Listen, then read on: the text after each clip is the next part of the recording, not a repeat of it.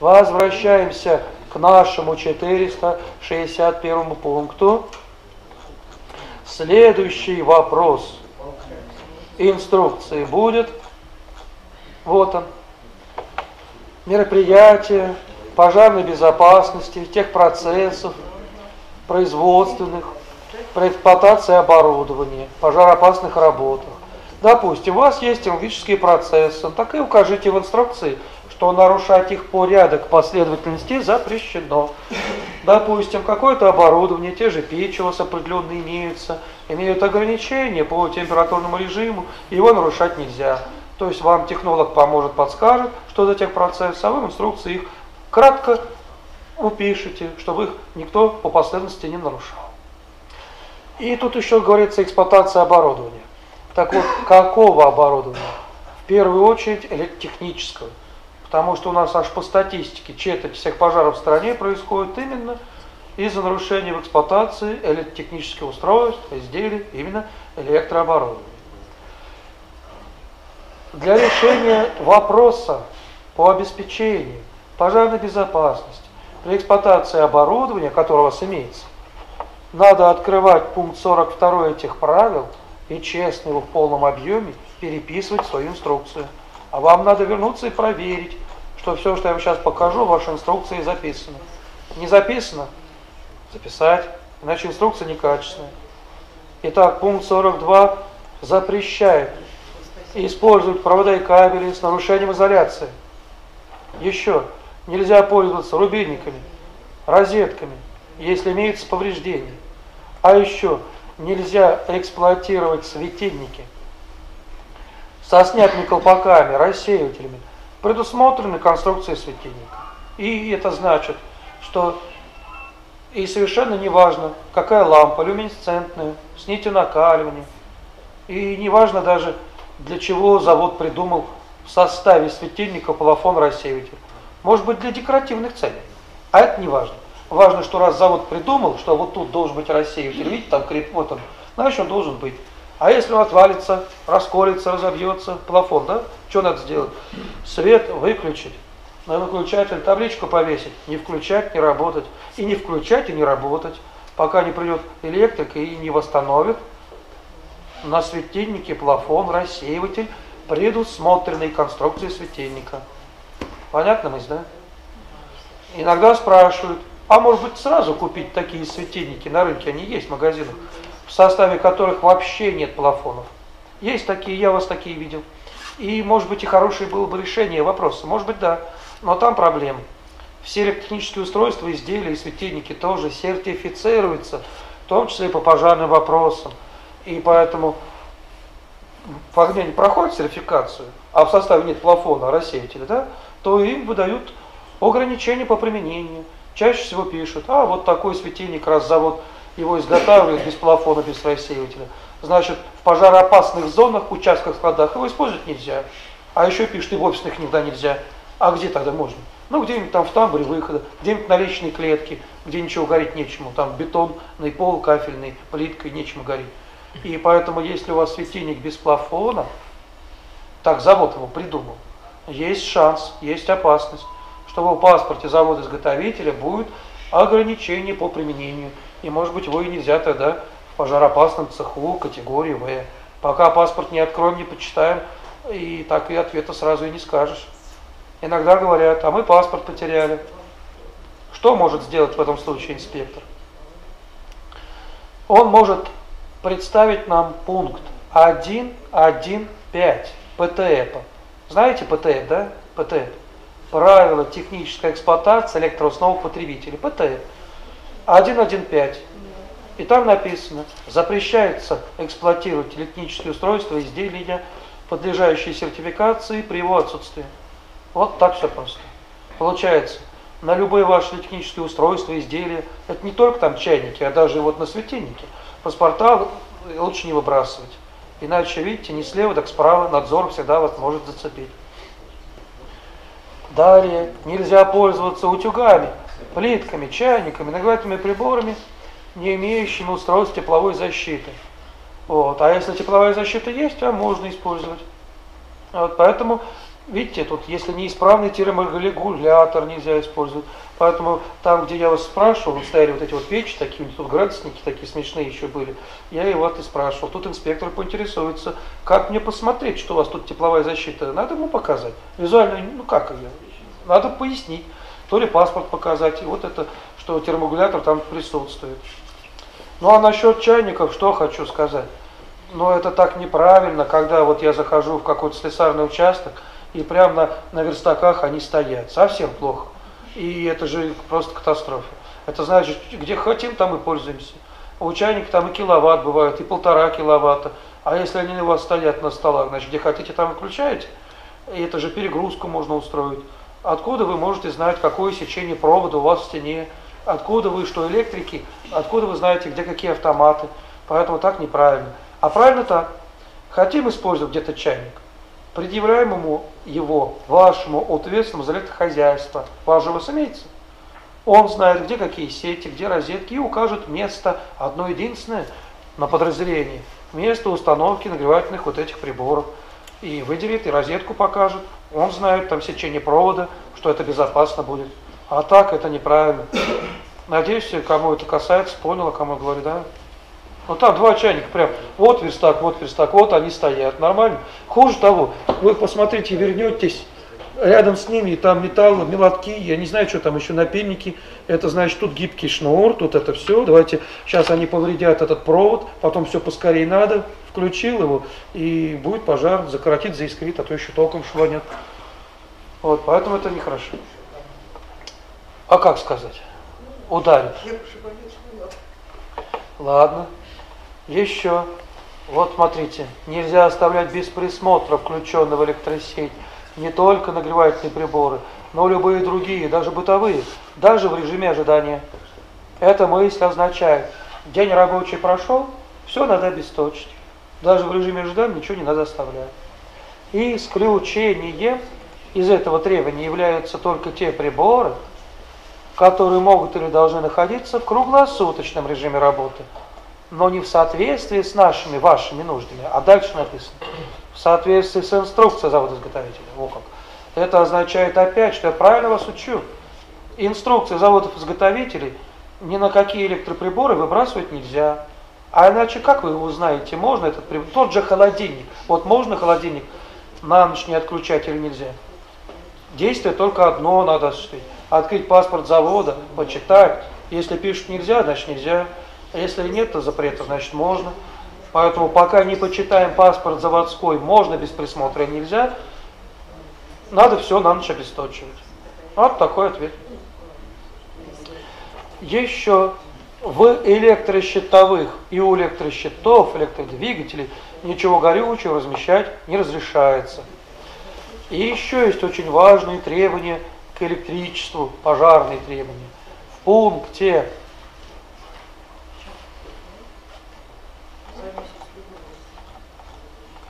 438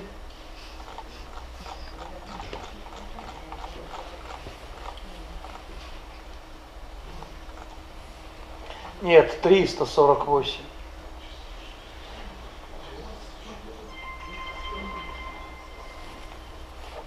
Вот он.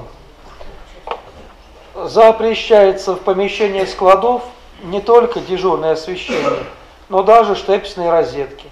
А кроме штепсельных розеток, а других и вообще не бывает.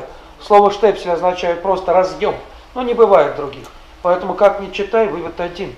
Неважно, что у вас в складах, да хоть склад металла, категорически запрещены. И это бесспорно, пункт 348 никак не обойдете. Еще дальше говорится, по окончании работы склады надо обесточивать, аппараты для обесточивания должны быть исключительно снаружи склада, вот, на отдельно стоящей опоре или на стене из негорючего материала. И пункт 340, третий важен. От светильников до каких-то горючих товаров должно быть расстояние не менее 50 сантиметров. То есть вот кладем что-то, еще вот до каких пор? Пока не ближе, чем 50 сантиметров до светильника. Вот ограничение. Следующая тема инструкции о мерах пожарной безопасности. по пункту 461 читаем. Вот она. Порядок нормы хранения веществ материалов. Здесь смысл вот в чем. Нормы хранения должны прямо в килограммах быть указаны в инструкции для склада. Нормы хранения появляются на основе расчетов категорий взрывопожарной и пожарной опасности. Для любого цеха, склада определяется категория. В1 максимальная пожарная опасность, нормы хранения побольше, В2 поменьше, В3 поменьше, но это же в килограммах надо указать.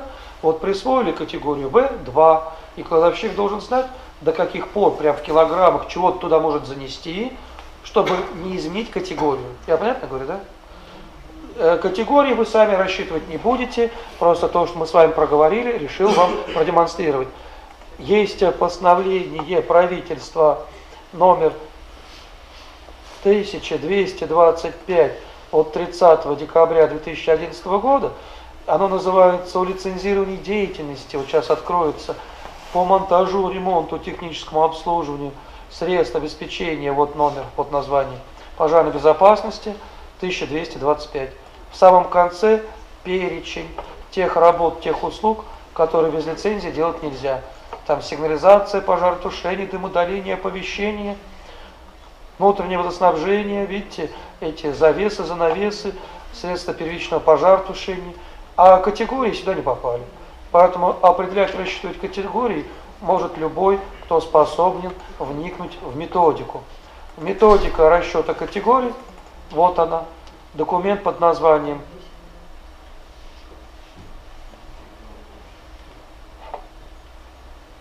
СП-12. Свод правил номер 12. Открылся. Вот так называется. Определение категорий. В общем, и вот надо просто вникнуть в эту методику, рассчитать эти категории, определить. Вот посмотрите, какая совсем простая формула. Ничего там такого сверхъестественного нет. Сейчас.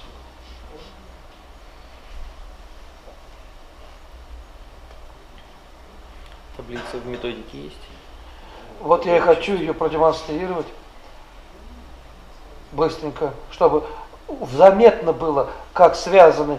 О, категория В4 у вас нигде не будет. Я в некоторых местах видел В4, нигде у вас не будет. Категория В4 может быть только там, где удельная пожарная нагрузка, измеряемая в мегаджоуле на метр квадратный, не более, ой, не, от единички до 180 мегаджоулей. И буквально один вот этот стол деревянный уже, да, что а, более 180 мегаджоулей, чего, на метр квадратный, на метре квадратном стоит. Все, и не будет у вас нигде В4. Где В3? От 181 до 1400. И вот формула. Берется Q, вот это большое Q, это пожарная нагрузка.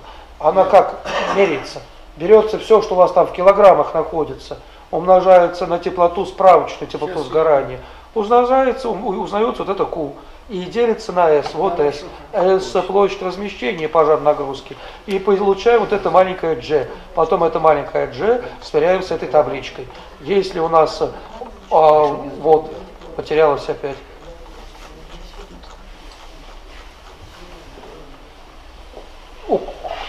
1400, но не более 2200, то В2. Но тогда и эту сумму в килограммах надо в инструкцию хранения занести. Я понятно рассказал, да? Почему это так важно? Потому что по нормативным документам, как только площадь более тысячи квадратных метров для складов цехов категории В2, В3, В2, В3, самые распространенные, более тысячи, там уже требуется система автоматического пожаротушения. А как только площадь категории В1 более 300 квадратных метров, там тоже требуется система автоматического пожаротушения. Поэтому представьте себе, категория В2, склад какой-то, да, пришел инспектор, а в нормах хранения в килограммах нормы не указаны. Кладовщик туда занес, что, сколько влезло. Пожарный инспектор эту СП-12 открыл, в кабинете присел, за 15 минут посчитал и доказал. Это не В2, это В1 а площадь более 300. Вот вам предписание, нет системы автоматического пожаротушения. Вот такой подход. Нет, на сегодняшний момент расчет определения категорий в соответствии с СП-12 с вводом правил номер 12 не подлежит ни аккредитации при МЧС, ни сертификации, ничего не надо, ни лицензированию не подлежит. Делать может любой, кто способен вникнуть в методику. Потом он просто будет аргументировать свое решение, вывод, апеллируя вот этим документом СП-12. А инспектор пожарный, если не доверяет вашему решению, он вправе проверить, пересчитать, вот, и так и это и работает. Рассчитать категорию, определить, это все равно, что инструкцию о мерах пожарной безопасности составить. Просто инструкция текстовая, а расчет категории, это как дополнение к инструкции. Теперь следующий раздел. Порядок осмотра закрытия помещений по окончании работы. То есть день рабочий прошел, нельзя просто встать и уйти.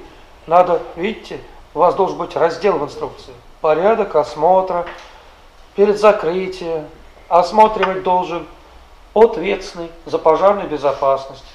Поэтому он для этого и нужен. А схема осмотра, она состоит из пяти мероприятий. Первое. Удалить накопившийся мусор и отходы. День рабочий прошел, все удалить. Вместо сбора. Второе мероприятие. Закрыть окна, форчики, двери в подсобные помещения. Третье. Проверить, восстановить пути эвакуации. Чтобы с утра безопасно трудиться. С вечера пути эвакуации проверили, с утра трудимся в безопасных условиях. Четвертое. Проверить подходы к огнетушителям, пожарным кранам, что комплектация не нарушена, что они еще на месте, что никто их еще это, не утащил. Вот. И последнее, пятое, все обесточить. Исключением, я уже напомню, является только то, что предназначена инструкция завода-изготовителя для круглосуточной работы. Ну, холодильник или серверная, или может еще что-то у вас. Также видеонаблюдение или сигнализация. Или вот я аквариум вас видел. Вот как этим рыбкам аквариум, я вас два аквариума видел. Э, фильтр воды выключить на ночь, они же погибнут за ночь. Поэтому паспорт заводской открываем на фильтр, а там нету предупреждений, что без присмотра оставлять нельзя. Значит, можете не обесточивать. Вот такой подход. А если откроете паспорт завода-изготовителя, вот на этот ноутбук, на эту камеру, проверьте, на телевизор, на что хотите, на, это, на ксерокс, на что вот, даже на дрель, и все равно вы там найдете. По завершении работы вилку шуропитания выньте из розетки. Вот. А на холодильник не найдете. Поэтому завод и предупреждает, что можно оставлять без присмотра, что нельзя. Следующий вопрос. Очень прост. Режим курения.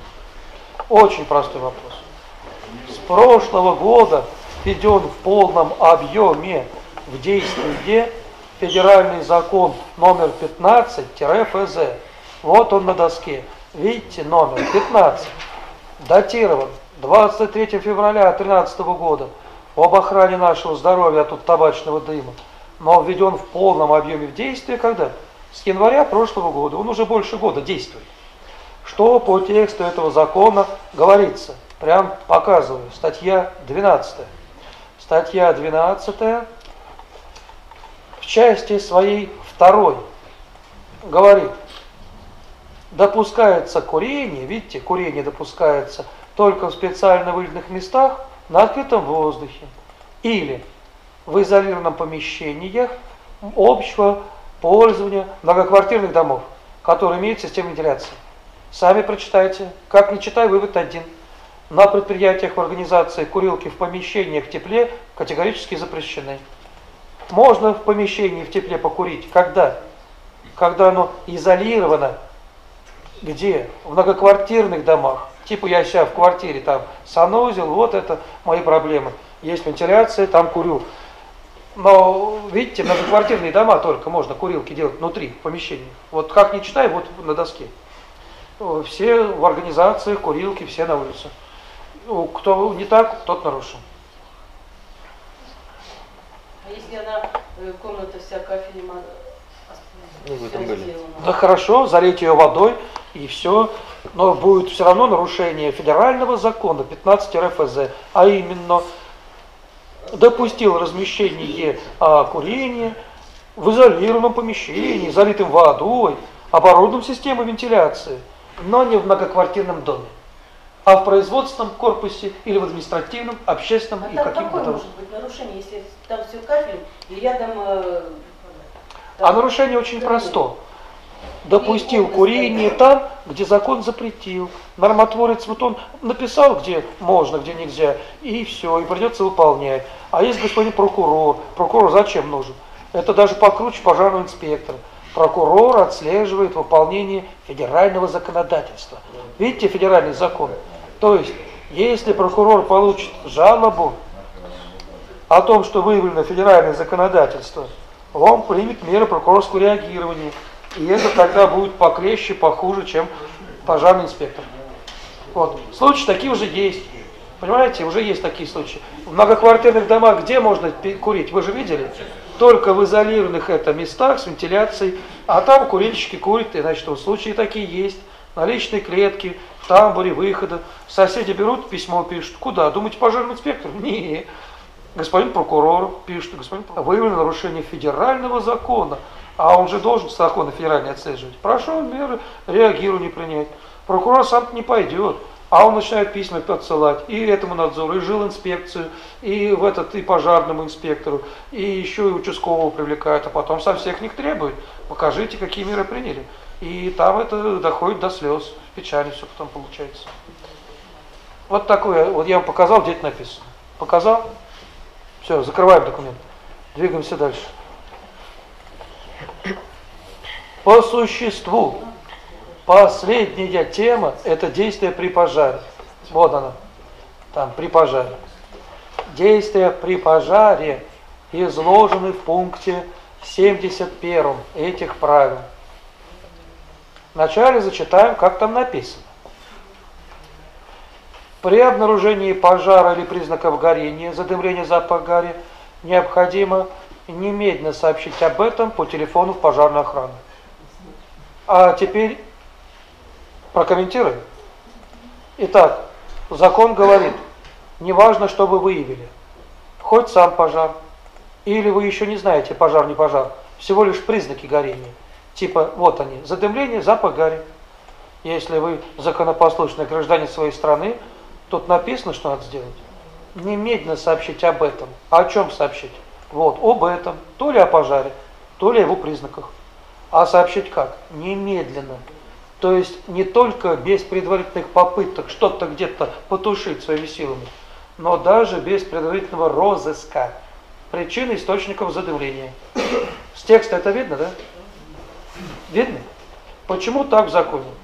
Потому что основная причина гибели людей – это как раз не огонь, а дым, дым, токсичные продукты, горение.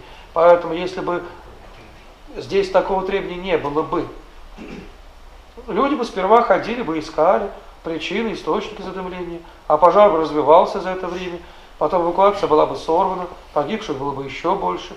Это даже вот сейчас написано. Хоть пожар, хоть признаки горения, все равно звонит пожарная охрана. Это же написано. Но даже сейчас, при условии, что это написано, все равно сколько пожаров, когда люди вообще в пожарную охрану не звонят.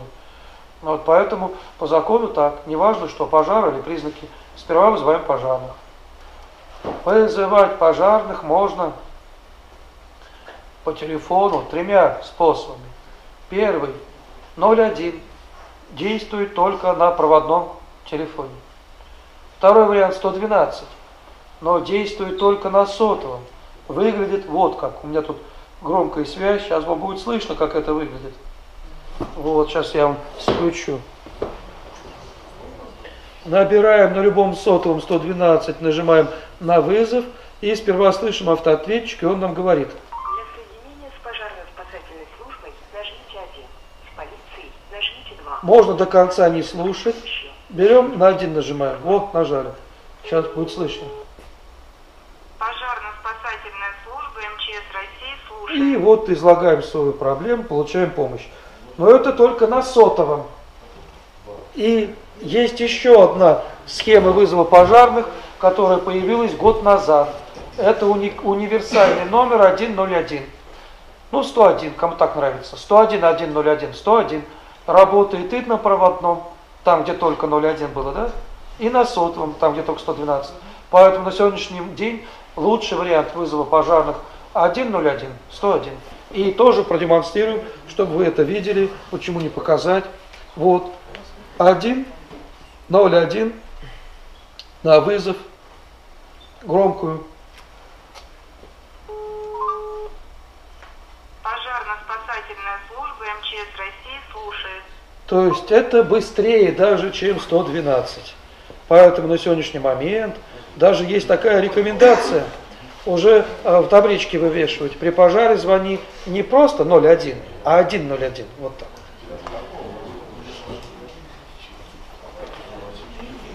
В момент вызова пожарных требуется доложить три вещи. Что выявил? Пожар или признаки? Ну, что выявил, то и скажет. Второе, точный адрес объекта, а то куда не туда поедут. И доложить свою фамилию. Все пожары уникальные. Как процесс горения происходит, никто точно не знает. Это все неизвестно, что горит, какие продукты горения. Поэтому применение тех огнетушителей, какие у вас имеются, основано на добровольном решении. Все-таки своей жизни никто не, не обязан рисковать. Закон исходит из того, что пожарных вы уже вызвали, мы налоги платим, МЧС содержим, они к нам уже едут, а важнее, чтобы все спаслись. А потушите, не потушите, ну как получилось? Может и возможности такой не окажется. У вас же нет там специальный свет защиты, как у пожарных, и куда вы с этим огнетушителем не полезете там в дым куда-нибудь, и может там все в дыму. Не обязательно своей жизнью рисковать. Есть возможность, применили средства пожаротушения, нет, значит нет. Поэтому теперь по существу я вот ожидаю от вас каких-то вопросов. Минимум пожаротехнический я вам изложил, а вопросы, я надеюсь, какие-то есть, и мы должны на них ответить, их обсудить. Давайте какие-то вопросы, должны же быть.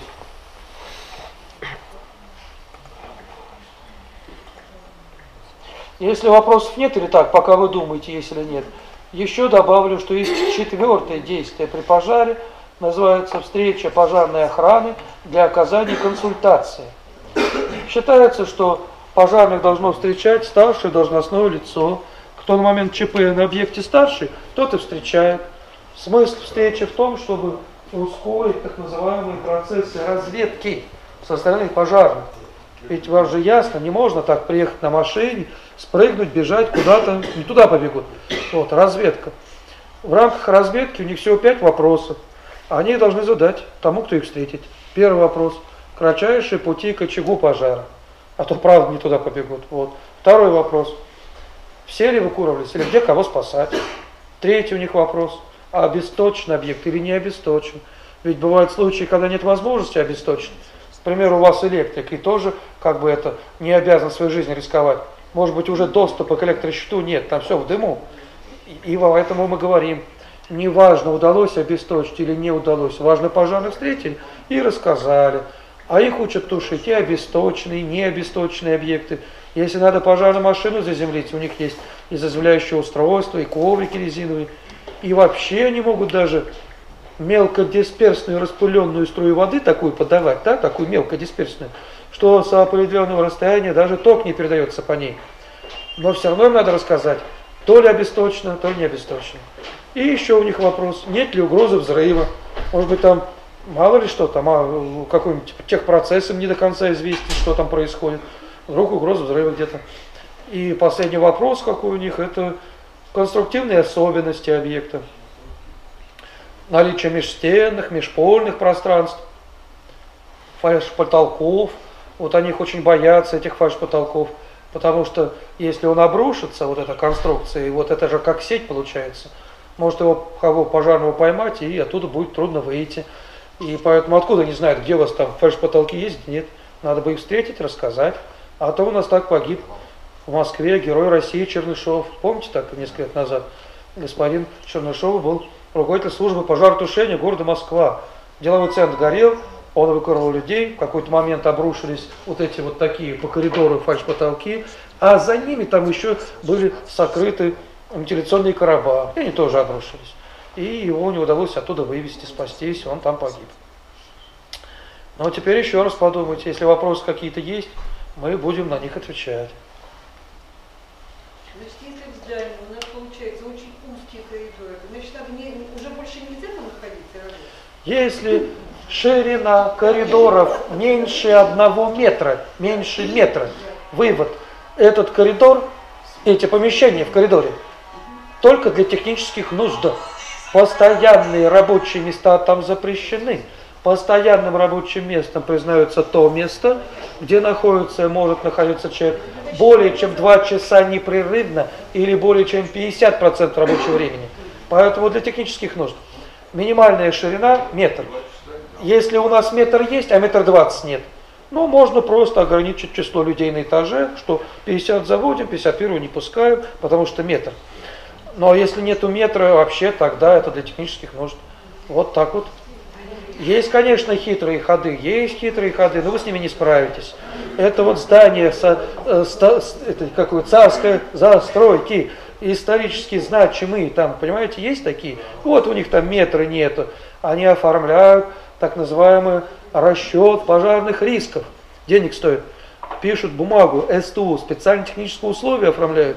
То есть разрабатывают специальные технические условия, комплекс мероприятий, позволяющих не выполнять действующие нормы и правила. Но это таких денег стоит, и вы с ними точно не справитесь. А потому что это делается где? Вот, либо для критически значимых объектов, для экономики страны, или на исторических, культурных каких-то объектах, которые снести никто не разрешит. Вот там это делается. А это я не вижу, чтобы вам такое, это не подойдет. Это зависит от компетенции пожарного инспектора. Если он мышей не ловит, если он халатно относится к службе, тогда и вот он под бомбу в эту перекладину врежется и не заметит этого. Это его проблема. А почему вы думаете, их судят одного там, то другого? Харуму ложь, помните там? Пятерых под суд направили. Кто-то говорит, ой, наверное, они взятки брали.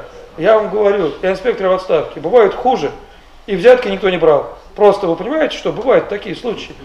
И человек вообще и не в институте не учился, не это. И там он там, понимаете, все профилолил, и тут. И пришел в кафе, поел, попил, сказал, вот тут огнетушитель поставьте, молодцы. А тут что это у вас пути эвакуации загромождены? Ну-ка разгромоздите. Или как вам было сказано, вот про пути эвакуации и про светильник. Молодец какой. А то, что в одном помещении и рабочие места, и видно рабочие места, это же производственный участок, и тут же оно явно перепрофилировано под склад. Склад вот этих катушек, как, это, кабелей, угу. это же нарушение. Ведь в складах розетки запрещены, а там розетки есть. Видите, нельзя. А это он умолчал. Халат отношение к службе. Так вот так оно и бывает. Пришел инспектор, все, это, вот тут сказал, табличку повесьте. А что у вас не висит? При пожаре сгинули один. Надо же, таблички нет. Вот так бывает. А потом пожар с гибель людей. И все, он под суд. За холодное отношение к службе. Вот. Поэтому смотрите, кто к вам придет. Придет вот специалист. Ужаснется, напишет, поковыряет. Я-то у вас прошелся по поверхности. Вот, по поверхности. И то мне хватило.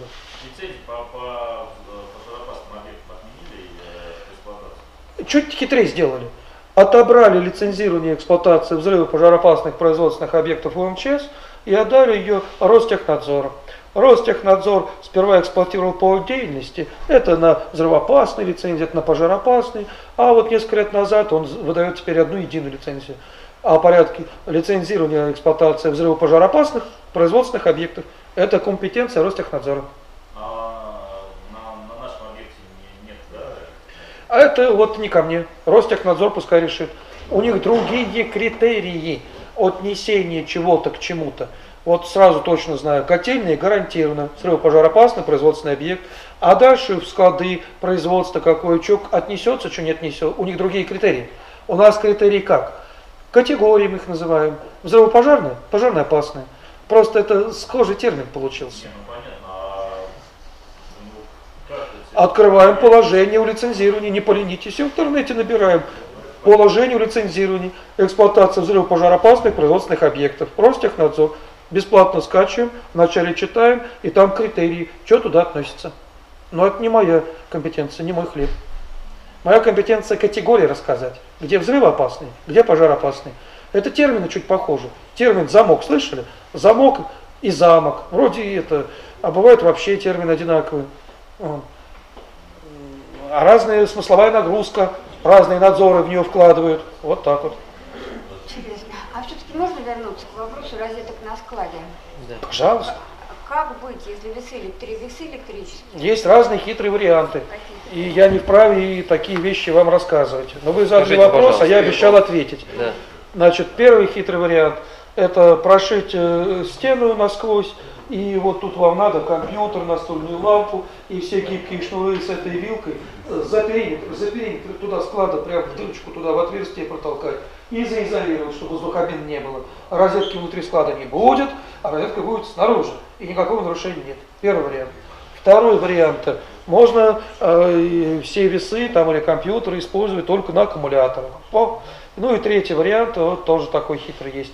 Можно э, сделать техническое задание ответственным за электрохозяйство на доработку ваших весов, ноутбука, компьютера, доработку заводской конструкции изготовителя, доработку. Ну типа вилку откусить, поставить на стену автомат и намертво через автомат без всяких штепсельных соединений его подключать. Потому что я вам продемонстрировал сегодня на доске, общий рубильник отключения электроснабжения склада, он должен быть снаружи склада. И если он снаружи есть, то внутри вполне можно иметь маленькие, так сказать, промежуточные автоматики, куда будут намертво подключаться все, что вам нужно. Но только это делается не самовольно. Вилку откусил, автомат поставил. Техническое задание форм, это же доработка, доработка заводской конструкции, этого же компьютера, доработка. Это надо посчитать выбор автомата, способ прокладки кабеля, расчет его этого сечения, оформить заданием, чтобы эта документация была. Компетенция, соответственно. Ну а как? а? Распаечную коробку сделать. Это не штепсельное соединение будет. О, видите, такой вариант есть. Просто я его не видел на практике. А, не- не- ну, когда ответственные от хозяйства начинают вопрос решать, они хотят, чтобы был промежуточный автомат. Потому что если он будет через эту распачную коробку, это что же выходит? Общий рубильник включил, и он тоже под на- плохо получается. Я такого ни разу не видел. У- Я думаю, ответственный от хозяйства не согласится с таким решением. Вот такой ответ. Ну, ограничение зах- э, заключается в путях эвакуации. Я, может быть, и забрал бы со склада столько, чтобы мне больше на склад не ходить. А у меня 70 сантиметров с рабочих мест. Все. Или детальку делаешь. Детальку сделал, пост- еще детальку сделал. До каких пор? Пока 70 есть. А как только ставить некуда, 70 нет. Работу прекращаем, все собираем, относим туда, где положено храниться, на склад. На складах пускай хранится. Я не могу. В производственных помещениях только находится. Чуть позже. Ответил? Ну, Это как бы концепция вообще пожарной безопасности. Ну и последнее, что я хотел вам рассказать, что являюсь автором пожарно-технических книг. Если кто посчитает это интересным, вот поэтому э, кратко представлю, кто посчитает интересным, ну действительно может приобрести. Это пожарная безопасность, электрохозяйство организации. Вот основа правовых отношений с пожарным инспектором. Есть инструкция о планах эвакуации, как тренироваться. Есть инструкция для ответственного за производственные помещения. Это инструкция по тушению необесточенных объектов. Есть даже вот анекдоты от пожарных, про пожарных. Можно вопрос еще один И задать? вопрос обязательно надо задать. Еще сейчас вот представлю, вопрос выслушаю. Комплект готовых приказов и инструкций авторских. Есть инструкция по проведению инструктажей, да, и для детей до 10 лет стихи, рисунки, методики обучения. Вот. И вопрос теперь. И вопрос. э, Такой вот. э, Есть ограничения по службе, э, ну, вот, так сказать, э, ОЧС, например, ну, на предприятии, а, ну, и в том числе по, по пожарникам, по численности на предприятии человека. То есть какая, какая- как- какова должна быть служба а, ГОЧС, ну, включающая, так сказать, подразделение по- а, пожарника, да, а по численности на предприятии? ГОЧС не относится к пожарной безопасности. Она не моя тема компетенции. Несмотря на то, что инспектор надзорной деятельности МЧС России одновременно выполняет и пожарный надзор, и надзор ПГО, и надзор ПЧС, мы с вами проводим только пожарно-технический минимум. Все, что касается пожарной безопасности, вы должны задать вопрос, а ГОЧС не моя функция. Могу только, что слышал, слышал краем уха. Там критерии чуть ли не 500, а то и 1000 человек. Значит 500. Там такой критерий. А,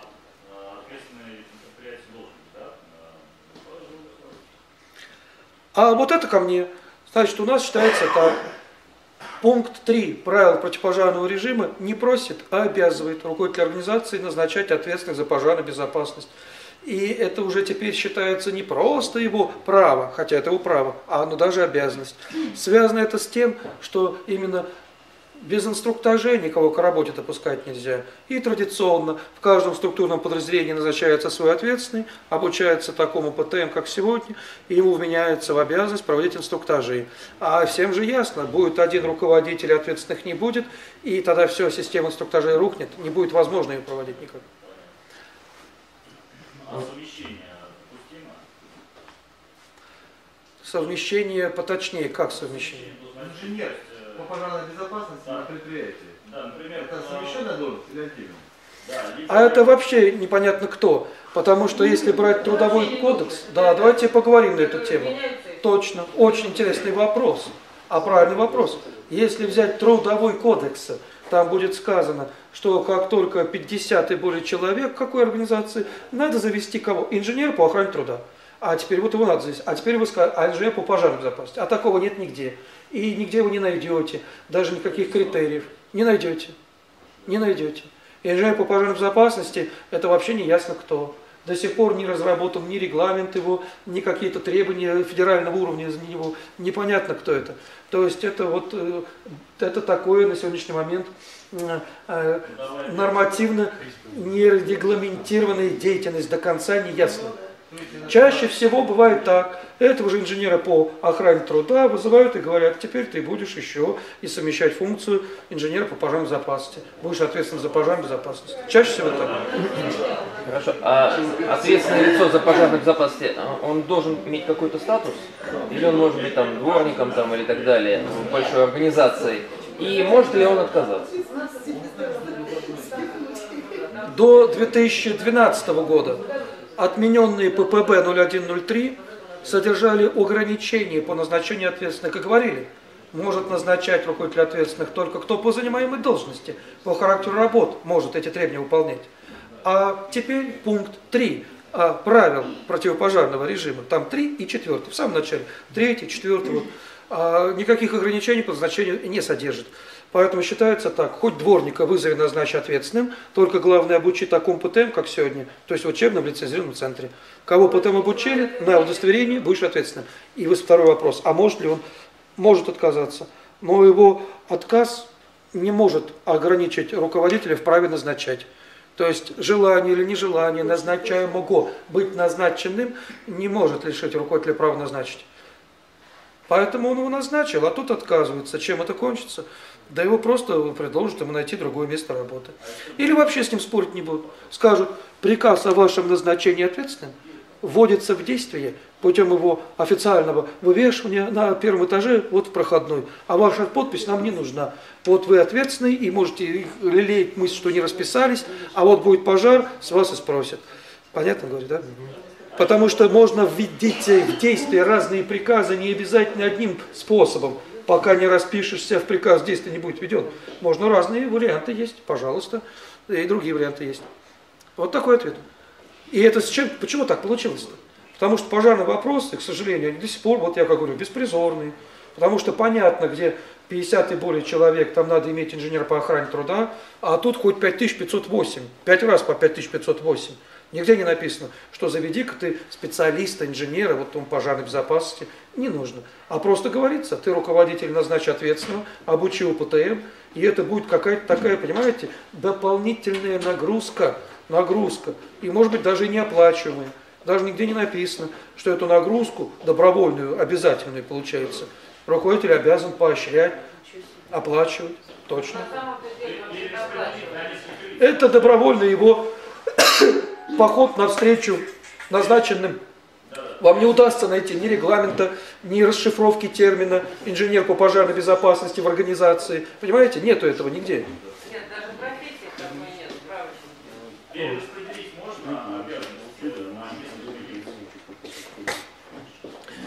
можно творчеством заняться и сделать по-разному.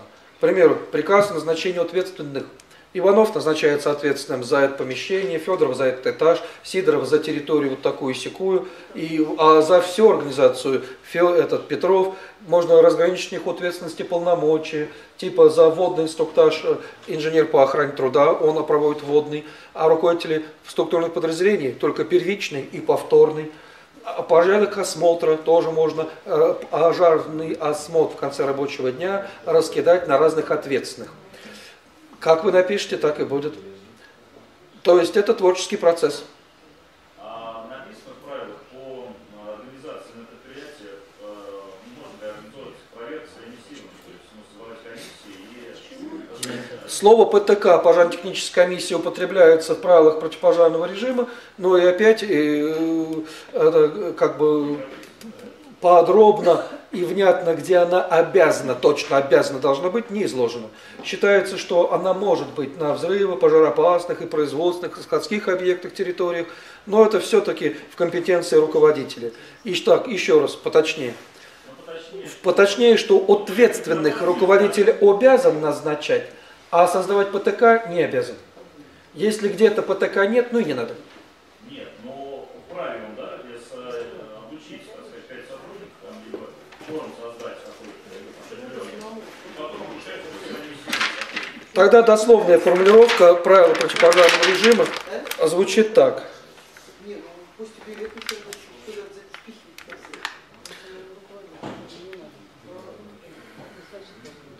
Пункт пятый.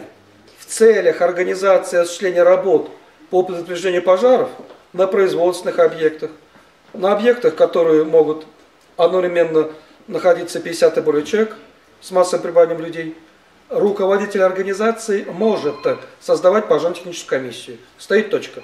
Ключевой термин «может». Может, не обязан. Хочешь создал, не хочешь не создал. Может. А относительно ответственных другая формулировка. Пункт четвертый. Руководитель организации назначает лицо, ответственное за пожарную безопасность. Тут слово «может» не употребляется. Вот почему я так настойчиво говорю. Ответственных руководитель назначить просто обязан, а потом получить ПТМ. А создать ПТК может, но не обязан. Себя может назначить? Ответственно? Да. А это смысла нет. По федеральному закону о пожарной безопасности, статья 38 говорит прям, персональная ответственность за противопожарные требования, за всю систему пожарной безопасности лежит на руководителе организации. Поэтому если руководитель сам себя назначает ответственным, это какая-то просто масло масляная каша, это бессмысленное. Нет смысла назначать себя ответственного, ничего не дает. А если не назначил ответственных, тогда приходит инспектор, читает слух пункт 4, говорит, а вот почему не назначил, а должен был. А периодичность, э, э, Как? Периодичность? периодичность, э, ну, Инструктажей. обучения. Раз в три года нашему ПТМ обучаются только те, у кого нет ни цехов, ни пожароопасных участков, складов.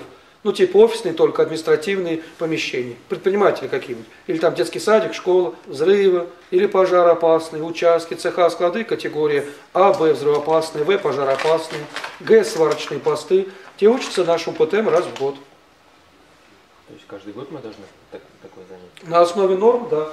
Есть документ, называется приказ МЧС 645 от 12 декабря 2007 года, прошел регистрацию Минюстом, и пункт 32, как не читай, а говорит о том, что раз в три года учатся ПТМ только офисные административные, а всякий, кто связан со взрывом, пожароопасными категориями, проходит ПТМ раз в год. Пункт 32. Там слово «связан». Связан, то есть имеет доступ. Вот, допустим, у вас там пожароопасные, там это участок, цех, склад. А вот тут какие-то офисные работники. Хотите их учить раз в три года? Приказом пишите, запрещается им доступ в пожароопасные категории, тогда вы их отвяжете от этих. Нет, нельзя. На больших заводах так делают, вот пропуска разные, там какие-то штемпеля, сюда тебе можно, сюда нельзя. И это так делают не только из-за секретности, режимности, но и пожарные вопросы так тоже можно решать. Всякий, кто связан со взрывом пожароопасными категориями, имеет туда доступ. В силу пункта 32 645 приказа МЧС обучается ПТМ раз в год. Вот я вам открыл. Давайте, какие еще, что? Да. А нам удостоверение на год дадут? Я учебному центру постоянно говорю, старайтесь выдавать удостоверение без срока его действия. Дата выдачи и все, чтобы сами вы потом решали. Потому что мы не надзорный орган. Если мы вам будем руки выкручивать, ой, придите к нам через год, это, знаете, неизвестно чем кончится. Потому что к нам вообще больше не придете. Как вам понять-то? Мы можем знать, есть у вас взрывы, пожара опасные, это только с ваших слов. Ну, я пришел, я узнал, есть. Но все равно, я же не надзорный орган. Я не вправе вам требовать, а ну через год приходите. Да хоть вообще не приходите, хоть через 10 лет. Моя задача была сказать, по закону, вот 645 приказ МЧС, Минюстом регистрированный. 32 пункт. Раз в год учатся те, кто связаны со взрывом, пожароопасными, производственными, цехами, участками. Раз в три года офисные, административные. Поэтому это вы должны решить, когда вы будете учиться. А учебный центр, если вы скажете, дай нам удостоверение сроком на три года, мы дадим. Нам какая разница. Претензии будут не к нам, мы же не надзорный орган-то. Поэтому я говорю, старайтесь выдавать удостоверение без срока действия. Дата выдачи, а когда будете учиться, сами решите. Может, вообще больше не будете. И так бывает. От проверки до проверки. Вот так люди тоже живут. Вот еще вопрос. Вот про техническую эксплуатацию этих установок. э, Сказано, что не только учат э, правила, так сказать, работы на электроустановку, но и изучать еще а, медицинский, так сказать, минимум и а, а, пожарно-технический минимум. Он э, является, так сказать, это, э, ну, что уже, так сказать, прошедшим аттестацию, а, ну, как ваш, а, а, по- по- Да, вы удостоверение получите о прохождении ПТМ, пожарно-технического минимума. У нас имеется лицензия, что мы вправе проводить такие занятия. Лицензия официальная, она выдана, это, как его там, образовательным, кто там лицензирование образовательной деятельности занимается. Копию вы можете получить. Поэтому все, ПТМ вы прошли, получите удостоверение. А на производстве э, получить лицензию и обучать, э, как вы, своих сотрудников? Так бывает. Газпром так делают, а, Мосгаз так делает. Этот жел- железнодорожные железнодорожники, да, прям под себя, сами под себя создают группу, даже не учебный центр, группу там повышения как квалификации своих работников, но, но лицензия все равно нужна. Без лицензии МЧС можно преподавательской какой-то деятельностью заниматься только если она не завершается выдачей какого-либо удостоверения. То есть, если инструктаж провели, вводный, первичный, повторный, внеплановый, вы уж тоже преподаванием занимались. Да, но удостоверение не давали, а просто в журналах подписи собрали. Это без лицензии. первичка. Ну, хоть а повтор, а повторный какая? А а же э, а.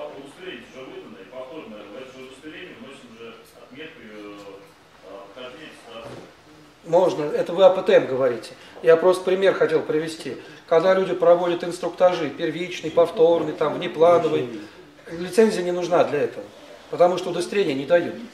А когда вы у нас ПТМ проходите, выдается удостоверение, позволяющее идентифицировать того, кто его выдал, того, кто его получил. А это уже лицензированный вид деятельности. И поэтому хуже. Если бы мы вам удостоверение не давали, а взяли бы акт, протокол о сдаче зачетов, предложили бы всем подписать. И этот инспектор пожарный такой не примет. Потому что не так не положено. Ну, это первичка, это вы говорите о первичке, а повторно, когда вот сейчас пожарно-технический минимум проводить, мы имеем право или не имеем?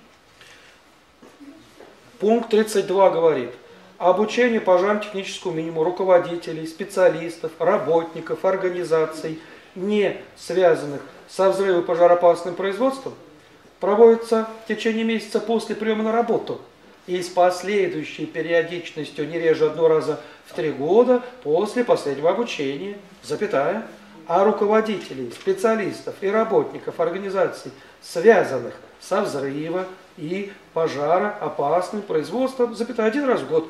Вот поэтому повторность, повторность. Либо раз в год, либо раз в три года. А первичные, на работу взял месяц тебе, чтобы первичный ПТМ а, пройти. Пункт 32. Лицензируем, э, ну, у вас, э, у у комбината. Да. А периодичность можно, так сказать, э, периодично это раз в год, раз в три года. Можно организовать э, ТК, ну, э, комиссии. Пункт 36 этого же документа говорит, обучение пожарно-техническому минимуму осуществляется с отрывом от производства.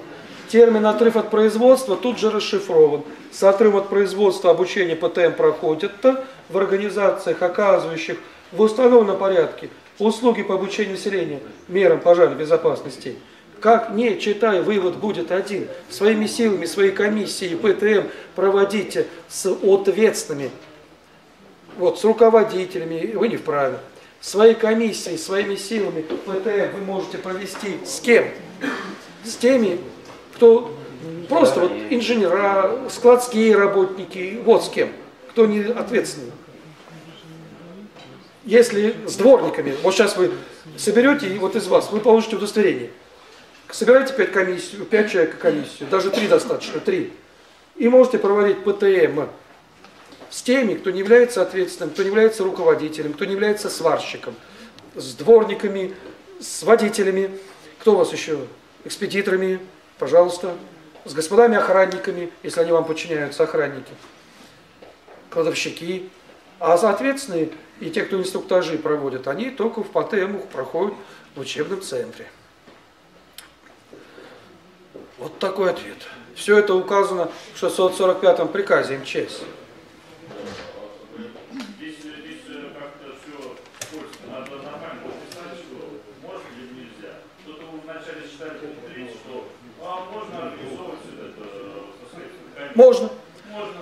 можно, Но только отдельно с кем? говорит, что- что- что- что нельзя. Только в комбинате.